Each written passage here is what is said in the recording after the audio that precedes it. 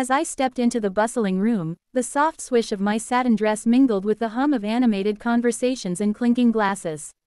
It was a gala unlike any other I had attended, filled with an eclectic mix of artists, designers, and aficionados of the finer things. My dress, a lush floral print on a deep navy background, was a standout piece, and I felt every bit the part of the evening's enchantment. Navigating through the crowd, I caught the gaze of a man from across the room. His eyes lingered not just with casual interest, but with a knowing, almost reflective admiration. As our paths eventually crossed, the subtle grin he wore told me he wasn't just any guest, there was something more personal in his look. Something familiar. Love your dress, he said, his voice carrying a hint of mirth and mischief. It's not every day you see such a perfect blend of elegance and playfulness. I smiled, tucking a loose strand of hair behind my ear. Thank you. I must admit, it's one of my favorites. The way it moves, the colors. He nodded, his eyes briefly flicking down to the pink petticoat peeking out from under my skirt before meeting my gaze again. It's the petticoat for me. It adds just the right touch of allure without saying too much. That's when it clicked. The particular way he appreciated the specifics of my attire, the details that many might overlook, hinted at more than just a passing interest in fashion. You have quite the eye for detail. Are you in the fashion industry? He chuckled, a sound that filled the space between us with warmth. You could say that. I'm actually a designer. But sometimes, a muse and a crossdresser on my weekends. There's something liberating about stepping into an outfit that transforms you.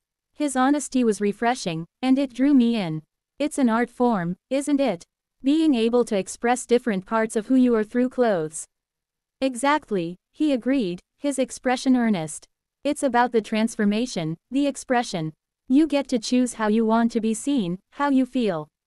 It's powerful. As the evening waned, we shared stories of our favorite outfits and the alter egos they brought to life. His perspective was invigorating, reminding me that fashion was not just about adornment but about embodiment and transformation. As I listened to him, the layers of his personality unfolding with each tale, I felt a connection, a shared understanding of the transformative power of a great dress. The night drew to a close, and we exchanged numbers, promising to share future fashion finds. Walking away, the compliments on my dress continued, but none felt as understood as his. In a room full of admiration, finding someone who saw the magic in the details was truly the highlight of my evening. A few weeks after the gala, I received a message from him, suggesting we meet up for coffee and perhaps a bit of thrift shopping afterward. His enthusiasm for exploring new styles was infectious, and I eagerly agreed. The idea of dressing him up, helping him express another facet of his identity, felt like a creative adventure I didn't want to miss. We met at a quaint cafe nestled on a busy street lined with vintage shops and boutiques. Over coffee, we discussed our latest fashion finds and the ever-blurring lines between gender norms in fashion. He shared more about his experiences dressing as a woman, the freedom and fun it brought him, and how it was a form of creative expression that few could understand. Have you ever helped someone dress up before? He asked, his eyes gleaming with a mix of curiosity and excitement. I haven't, but I've always wanted to, I admitted, feeling a surge of anticipation at the prospect. With our coffee cups emptied, we ventured into the vibrant streets, our first stop a vintage store known for its eclectic collection.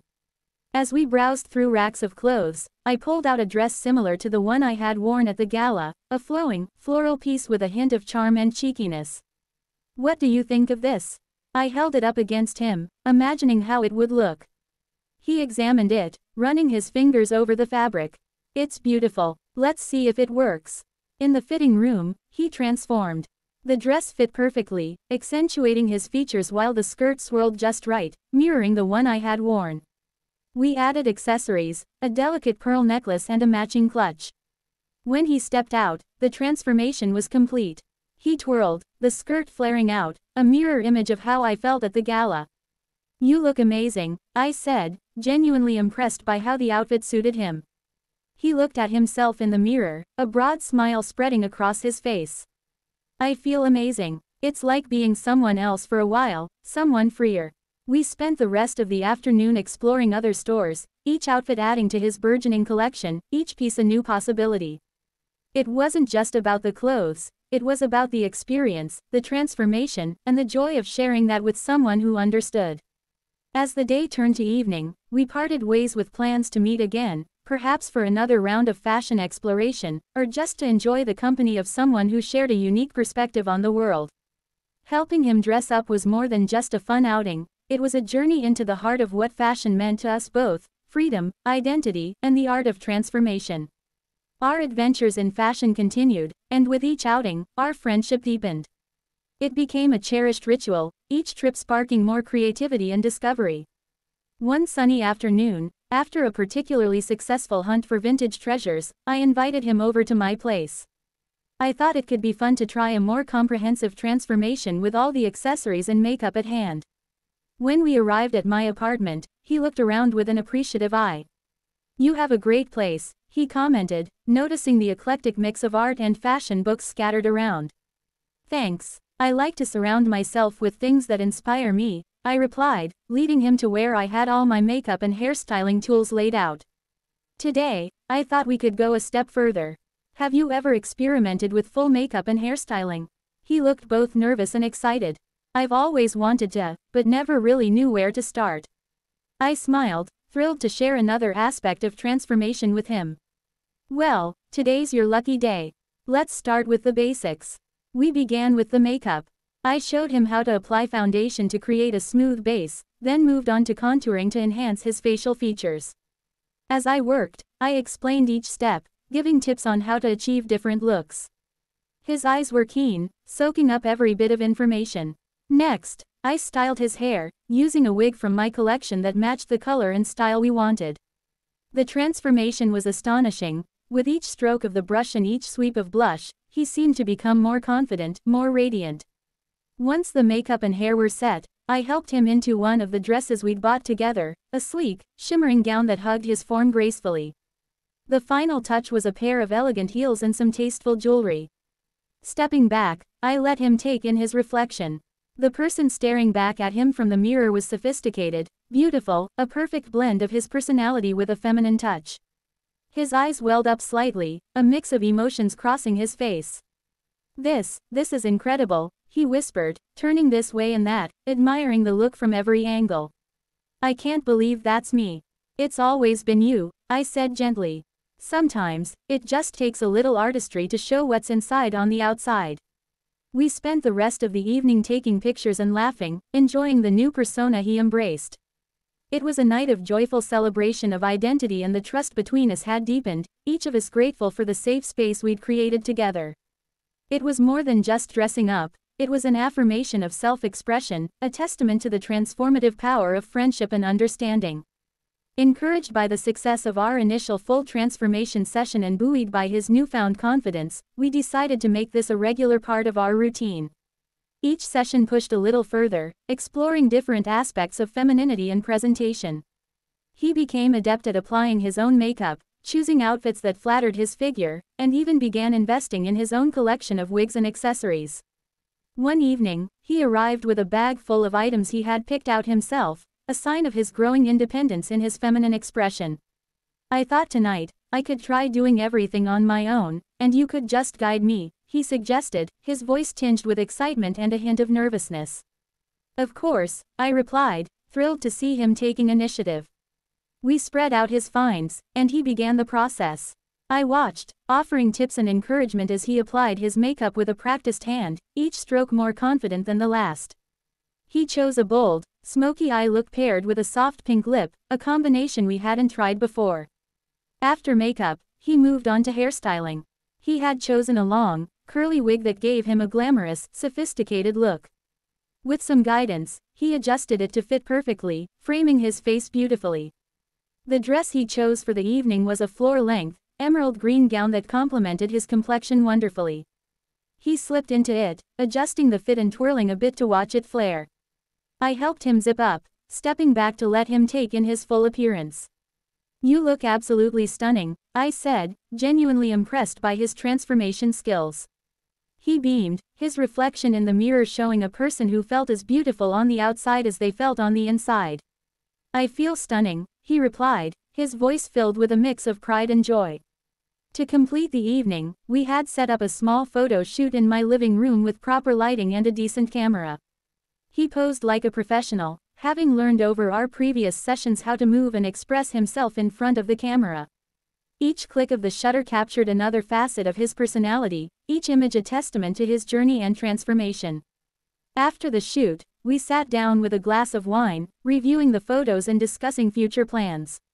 He expressed a desire to go out in public fully dressed, a step he hadn't yet taken but felt ready to explore.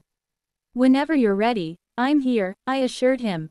We can go as slow or as fast as you want. What matters is that you feel comfortable and happy. He nodded, the gratitude and trust in his eyes clear. Thank you, for everything.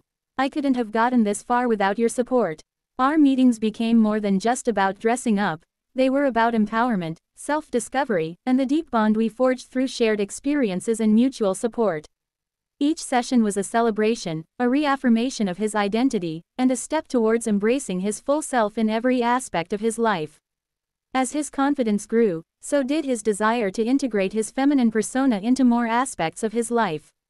We planned his first public outing carefully, choosing a local event known for its inclusivity and vibrant atmosphere, a weekend art fair that attracted a diverse and open-minded crowd. It seemed like the perfect setting for him to debut publicly. The day before the event, we met to finalize his look. He chose a sophisticated yet comfortable outfit, a chic midi skirt paired with a fitted blouse, perfect for the summer weather and casual nature of the art fair. We also spent extra time practicing walking in heels, something he had been improving on but felt needed more confidence to do outside the safety of a home. The morning of the art fair, the air was filled with a mix of excitement and nerves.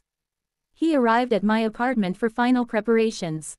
I could see the anticipation in his eyes, tinged with a hint of apprehension about stepping into the public eye. You look incredible, and remember, it's all about enjoying the moment, I reassured him as we did one last check in the mirror. His makeup was flawless, his outfit impeccable, and his smile, though a bit nervous, was genuine. We drove to the fair together, chatting about the artists we were excited to see and the types of crafts that would be on display. As we walked towards the entrance, I felt him squeeze my hand slightly, seeking reassurance. Ready, I asked as we neared the bustling gates, the sounds of music and laughter floating in the air.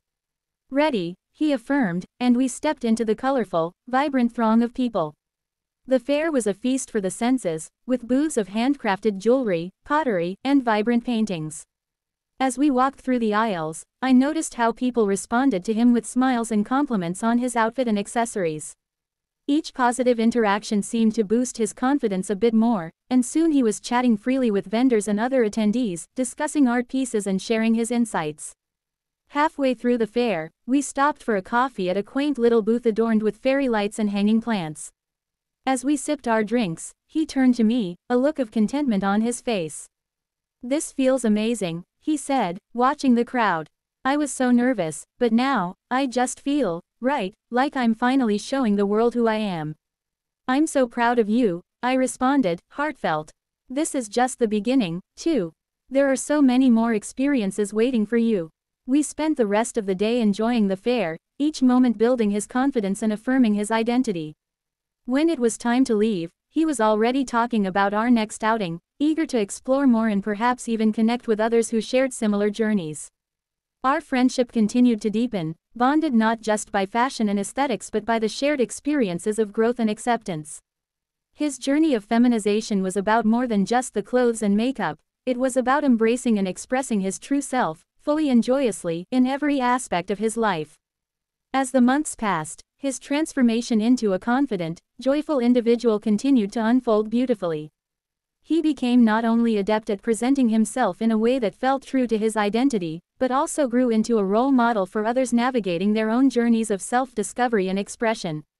We made it a point to attend more public events together, art shows, theater evenings, and even some fashion shows, where he not only participated as an audience member but eventually as a speaker, sharing his story and the positive impact of embracing one's true self with confidence and pride. His words inspired many, his story resonating with those who felt similarly hidden or constrained by societal expectations. One particular evening stood out, marking a significant milestone in his journey. We attended a charity gala designed to support LGBTQ artists. He chose to wear a stunning evening gown that flowed elegantly to the floor, the fabric catching the light with every movement. His makeup, now perfected to a professional level, highlighted his features beautifully. As he mingled through the crowd, receiving compliments and admiration, the joy in his eyes was unmistakable. During the event, he was invited to speak about his experiences.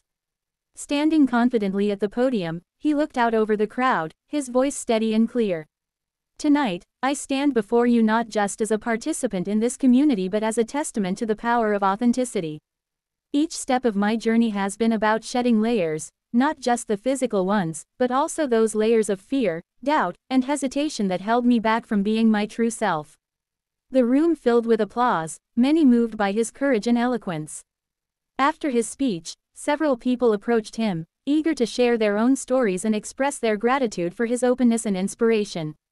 As the gala came to an end, we walked out into the cool evening air, the stars bright above us. I can't believe how far I've come, he said, taking a deep breath of the fresh air. It feels like a dream. It's real, every bit of it, I assured him. You made it real through your courage and willingness to embrace who you are. He smiled, his eyes reflecting a deep, contented peace. And I had a great friend by my side every step of the way. From then on, he didn't just survive, he thrived. He started a blog to share his continuous journey, offering advice and support to those exploring their gender identity. His following grew, as did his impact, spreading a message of love, acceptance, and the beauty of true expression. His transformation was complete, not just into a woman but into a happy, fulfilled person living her life with joy and authenticity. Each day was a celebration of that truth, and in living so openly, he encouraged countless others to find and celebrate their own.